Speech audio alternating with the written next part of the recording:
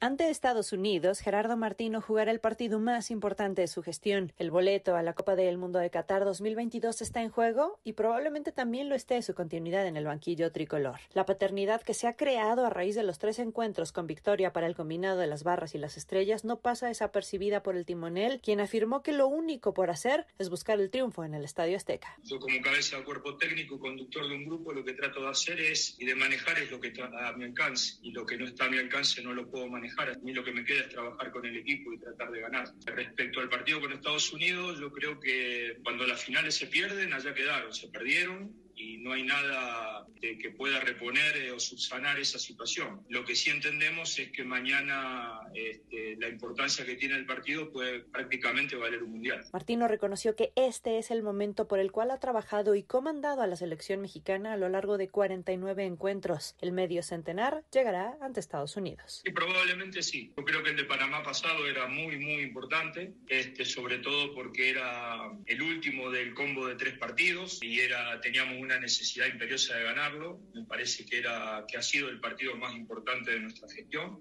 Y creo que este, si bien tiene un componente similar, también hay una salvedad que es que todavía restan dos partidos detrás del mismo. Pero sí creo que es este, tanto aquel como este son partidos que, por lo menos nosotros lo tratamos con los jugadores como partidos que puedan, que puedan valer un mundial. Para imagen, Stephanie Fuentes.